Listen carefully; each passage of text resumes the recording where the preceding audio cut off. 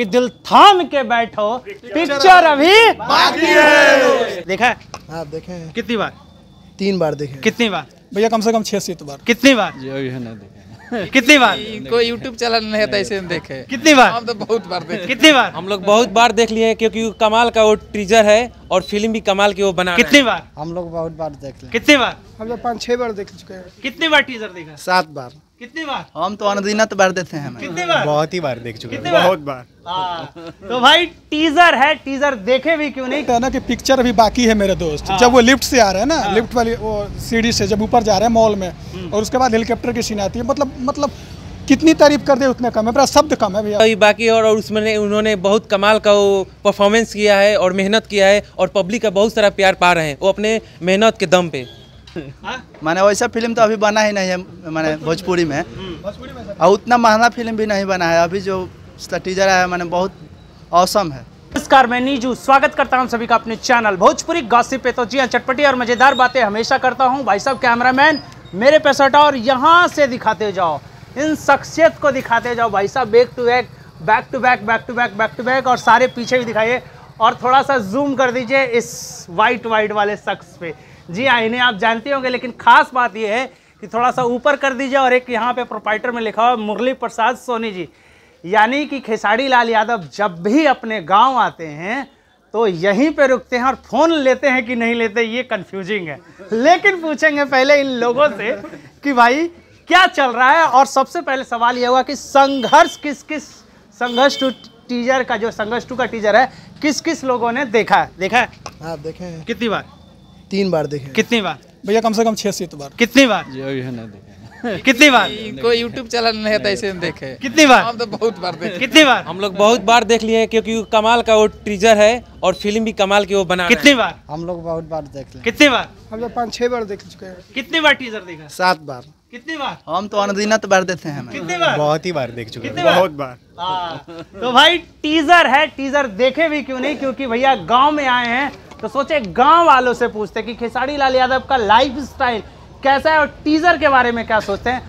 तो टीजर कैसा लगा आपको? सबसे पहले तो आप बताइए कैसा लगा? भैया बहुत बढ़िया। जब वो लास्ट में बोलते हैं ना कि पिक्चर अभी बाकी है मेरे दोस्त हाँ। जब वो लिफ्ट से आ रहे हैं ना हाँ। लिफ्ट वाली वो सीढ़ी से जब ऊपर जा रहे हैं मॉल में और उसके बाद हेलीकॉप्टर की सीन आती है मतलब मतलब कितनी तारीफ़ कर दे उतने कम है मेरा शब्द कम है भैया। पिक्चर अभी बाकी है। पिक्चर अभी बाकी है और और उसमें उन्होंने बहुत कमाल का वो परफॉर्मेंस किया है और मेहनत किया है और पब्लिक का बहुत सारा प्यार पा रहे हैं वो अपने मेहनत के दम पे।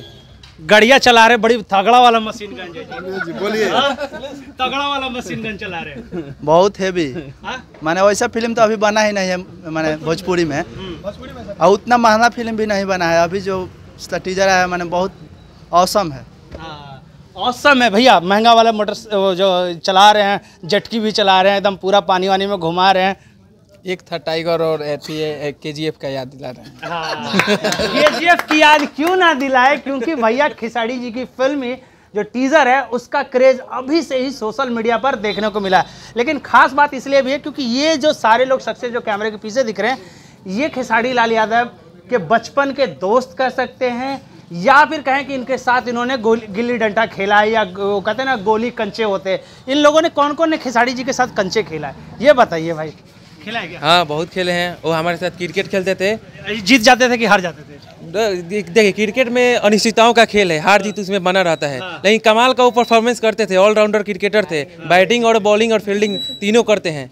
ठीक उसी प्रकार उन्होंने भोजपुरी इंडस्ट्रीज़ में भी परफॉर्मेंस करते हैं ऑलराउंडर बैटिंग के माध्यम से बॉलिंग कर लेते हैं और फील्डिंग करते हैं स्टेज शो करके फील्डिंग कर लेते हैं और जब एक्टिंग करते हैं तो वो बैटिंग कर लेते हैं। और और इसीलिए वो भोजपुरी में नंबर वन है।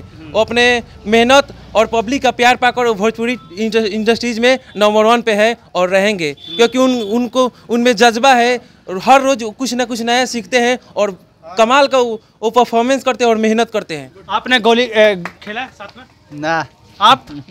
नहीं हम साथ में नहीं हैं। हम तो भतीजा लगे हैं। नहीं। हम साथ में नहीं पढ़े हैं। अच्छा तो एक बात बताइए भैया आप आप तो खेलवे किए होंगे। हाँ हमने के तो लड़का ही से हमने के तो बोटा पर जाकर मकइयों के बाल हो रहा हो। रहा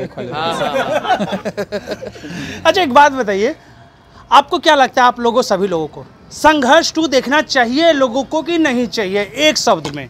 एकदम देखना चाहिए। सब लोग देखेंगे। हम परिवार के साथ। हम लोग के पास बहुत हम लोग के यहाँ एक थिएटर है अब दिन में आए होते तो दिखाते। और पटना के फील आएगा यहाँ पे जयशंकर सिनेमा एकमा में है। वहाँ पे हिंदी हिंदी हिंदी फ़िल्म लगता है मतलब भोजपुरी कॉमेडी लगता है। लेकिन वहाँ भी सब लोग चर्चा में एकदम संघर्ष का इंतज़ार सब लोग कर रहे हैं। आप लोग एक बात बताइए आप सभी लोग जो गाँव वाले हैं खेसारी लाल यादव की जो फ़िल्म आएगी तो प्रमोशन आप यहीं पे कीजिएगा कि बाहर भी करने वाले जो जो जो बाहर बाहर जो है या फिर है करने वाले हैं कि नहीं आप? बिल्कुल सोशल मीडिया के माध्यम से ऐसे भी हम लोग तो करते ही हैं। बहुत बहुत प्रचार है होता। है वहाँ से वो अपना प्रचार प्रसार करेंगे लोग प्रमोशन करेंगे लोग। और प्रमोशन करना चाहिए क्योंकि वो भोजपुरी का वो सबसे ज़्यादा बजट का फ़िल्म है और आदमी को हॉल तक जाकर देखना चाहिए क्योंकि भोजपुरी को बढ़ावा मिलेगा। बढ़ावा मिलेगा। तो भैया सिंपल सी बात है टीजर रिलीज़ है वर्ल्ड वाइड रिकॉर्ड्स के ऑफिशियली यूट्यूब चैनल पर। जाकर टीजर दिखे और खास बात यह है ये जो शख्स जो दिख रहे हैं ना इनको यूट्यूब यूट्यूब चलाना नहीं आता। यही बताएँ। काहे यूट्यूब नहीं चलाना है जी? ना ना सिखाएँगे अभी बाबा। बाबा सिखाएँगे। इंस्टीट्यूट खोलने में उसी से समय नहीं मिलता है। अरे ठेकेदार हैं तो आपसे पूछ रहे हैं कितना दिन में महलवा तैयार कीजिएगा जी? छः महीना में। हैं? छः दो साल से आप खा कर रहे हैं? हाँ तो दो साल में तो लॉकडाउन लग तो लग गया था काम थोड़ा स्लो हो गया था। अच्छा तब उसमें सुने कि पैसा वैसा कुछ ज़्यादा दबाए हैं आप? हैं? मजदूर पाँचे को होता है आप बिल देते छो को का। ना ना सही में? ना ना। अच्छा एक बात बताइए सुनने में आ रहा है कि जो डिज़ाइन किया जा रहा है वो फ़िल्मों के लिए भी किया जा रहा है या गाने की शूटिंग के लिए उस तरीके की डिज़ाइन किया जा रहा है क्या वाकई में हकीकत है और क्या क्या खासियत देखने को मिलेगा उस जो जो खेसारी जी का जो थी है आ, वो तो का है सेवन पुल उसमें है। पार्किंग है गार्डन है मकान बहुत सुंदर है झूमर है लिफ्ट है उसमें बहुत अच्छा काम होगा। आ, आ, हम लोग को श्रद्धा है कि अच्छा बनाए कि नाम हो कि हाँ मतलब खेसारी जी का घर है। हाँ तो कहीं ना कहीं भैया जो फ़िल्म को जो लेकर जो इधर का एक लोकेशन है इस साइड का छपरा सिवान का जो लोकेशन उसको कहीं ना कहीं साड़ी जी पूरा तरीके से भरपूर करने की कोशिश की है। नहीं बहुत बढ़िया बन रहा है। हमको लगता है कि ऐसा मकान अभी इधर नहीं होगा। बेहतर बन रहा है। दिन में आए अब दिन में आते तो आपको एक मैं जिलेबी खिलाता ही बहुत पुरान दुकान जिलेबी के बाद। जी हाँ। हमने कहा सब बात नहीं अगली बार खा लेंगे उधार रहा जी अतः दुकान बहुत गुड है लाइक फ़िल्म सिटी जैसा बन रहा है उसमें अगर मे भी लॉकडाउन न लगे अगर कहीं लग जाता है तो उसमें शूटिंग भी होगा। प्लानिंग वैसा प्लानिंग के अनुसार उसमें। स्टूडियो सब कुछ बना है। मैंने कैसे जब लगभग बिहार आएँगे तो पटना कम रहेंगे गाँव ही ज़्यादा अब आप लोग को बराबर गाँव ही आना पड़ेगा इंटरव्यू के लिए। तो भाई सिंपल सी बात है खेसारी जी का जो घर का है वो अपडेट यही है कि ये है ठेकेदार साहब और पवन पांडे भैया ने भी कंफर्म कर दिया कि भैया गाने की शूटिंग और एल्बम की शूटिंग या हो सकता है फ़िल्मों की भी शूटिंग आपको यहीं पे खेसारी फ़िल्म सिटी के नाम से जो चर्चा है, उस पर कहीं ना कहीं वो मोहर पूरा हो चुका है। लास्ट नाम कहने का मतलब है कि देखिए, भोजपुरी इंडस्ट्रीज़ में, जितना गाँव में खेसारी लाल यादव का हम लोग प्यार, दुलार और सपोर्ट करते हैं लोग, किसी कलाकार को नहीं होता है अपने गाँव में, अपने पैतृक गाँव में। अभी खेसारी लाल यादव जी आते हैं तो पूरा गाँव पलट के उनके पास मिलने के लिए चला जाता है। उतना उसमें खासियत है, और वो हम लोग जाते भी हैं लोग तो बहुत अच्छे से वो मिलते हैं। और और कहने का मतलब है कि वो कभी जाति पाति और धर्म का नहीं देखते हैं क्योंकि उन्होंने बचपन से क्रिकेट भी है और क्रिकेटर कोई जात पात नहीं देखता है क्योंकि ग्यारह खिलाड़ी ग्यारह जगह के ग्यारह कास्ट के होते हैं और एक ही बोतल से हम लोग पानी पीते हैं। तो ठीक उसी प्रकार भोजपुरी इंडस्ट्रीज़ में भी जब वो शूटिंग करते हैं तो टेक्नीशियन दूसरे कास्ट का रहता है वीडियोग्राफर दूसरे कास्ट का होता है बट वो सबके साथ एक ही बोतल से पानी पीते हैं उनमें सबसे बड़ी खासियत है। तो लास्ट में यही कहूँगा कि जो लास्ट वाला डायलॉग है, कि दिल थाम के बैठो पिक्चर अभी बाकी है। तो सिंपल सी बात है पिक्चर अभी बाकी है। टीजर जाकर देखिए। मिलते हैं अगले वीडियो में, तब तक के लिए धन्यवाद।